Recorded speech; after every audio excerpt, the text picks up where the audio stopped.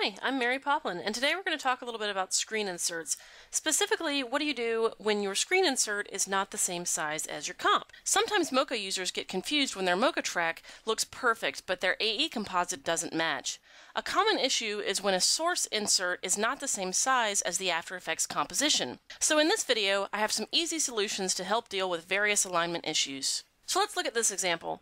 I have this iPhone screen. We're going to drag it over the top of our comp, and you can see very clearly this is not the same size as my comp. That's going to be a problem because of the way corner pins usually react to things that are not the normal size of the comp when you track them and want to match move them. So normally what I would do is I would select my layer and I would go to Animation, Track in Mocha for After Effects, but we've already baked that cake and we're going to pull it right out of the oven. Here is our track. Okay, now what we want to do is we want to take this layer that we have aligned our surface with, and we want to export tracking data. You're going to need to select the supports motion blur option.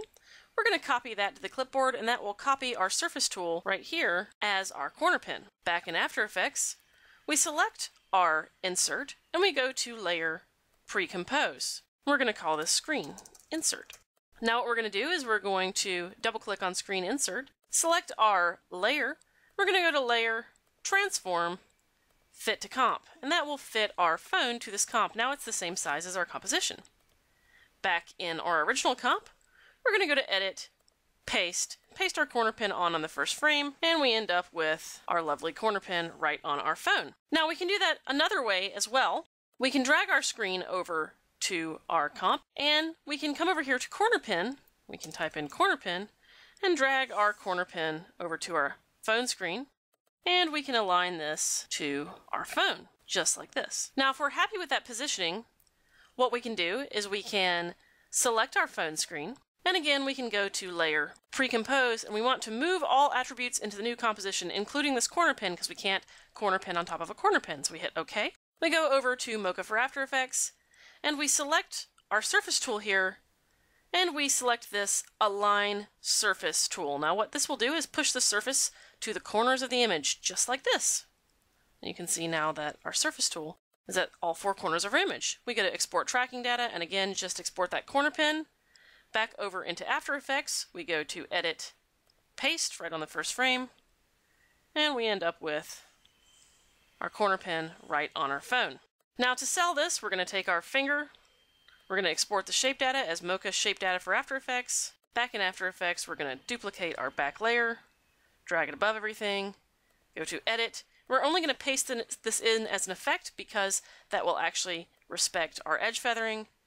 We end up with this nice finger rotoed over the top, and then we're just going to screen this and change the opacity to about 60%. And we've got a lovely comp without having to do too much work. Now, what do you do if you've got like a paint fix? Well, if you have a paint fix that you need to corner pin, obviously you're not going to want to just drag any corner pin in. In this case, what we're going to do is we're going to actually paint onto our model here. We're going to try to paint to get rid of some of these under eye marks. So we're going to select our paint tool.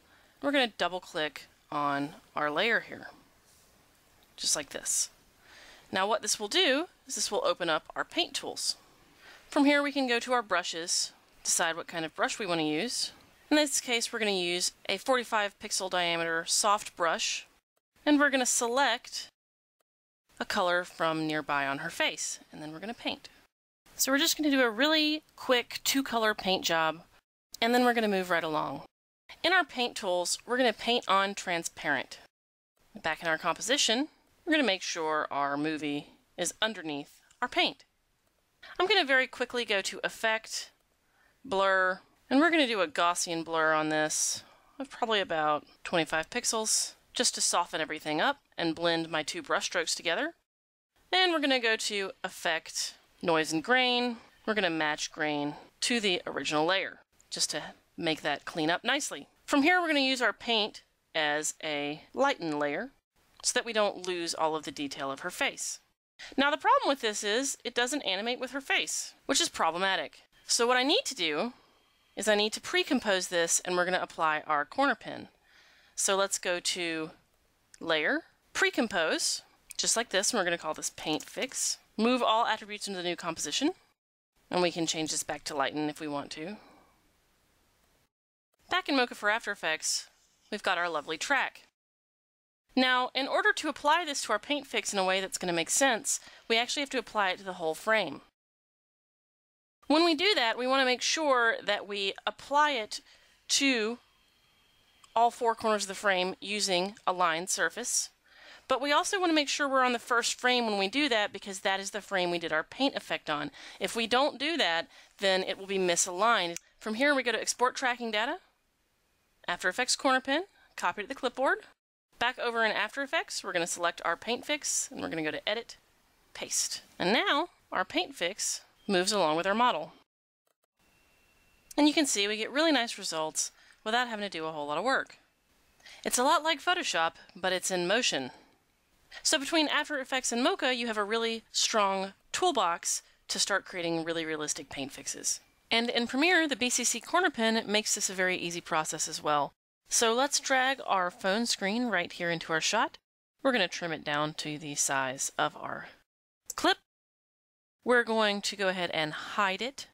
We're going to select our original layer, which you remember is the same size as the rest of our comp, right? Which is important because we're going to need to paste the corner pin data onto our original layer, not onto our insert layer. We're going to find our BCC corner pin right here in our effects presets. Drag and drop this onto our original movie clip, and we're going to set our background to video 1, and we're going to set our corner pin to video 2. The next thing we're going to do is we're going to come down to our motion tracker. We're going to load our data, which we get by going over to Mocha. In this case, we can use Mocha Pro or Mocha Plus, but we cannot use Mocha for After Effects to export to Premiere. We go to Export Tracking Data, and we want to select BCC Corner Pin. So we're going to save this, and I'm just going to save that data. We're going to load this, so let's go to our folder and load this data right in on our phone. We also have some compositing tools in here, so I can go to Composite, I can go to Apply Mode Screen, and I can take this down to about 60% the same way I did inside of After Effects. If I really want to finish this shot, what I want to do is drag my clip back over to my timeline, my sequence, back into Mocha, and we're going to grab the finger we're going to go to Export Shape Data, and we're going to do Adobe Premiere Shape Data. We're going to copy this to the clipboard. Back in Premiere, we're going to select the Effect Controls for opacity inside of our top layer here. Select opacity and hit Paste. And now we end up with our finger over the top of the phone.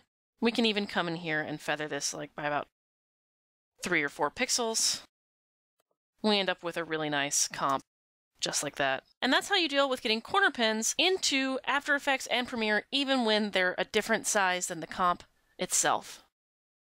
Thank you for watching. If you have any questions, go to our website at www.imagineersystems.com.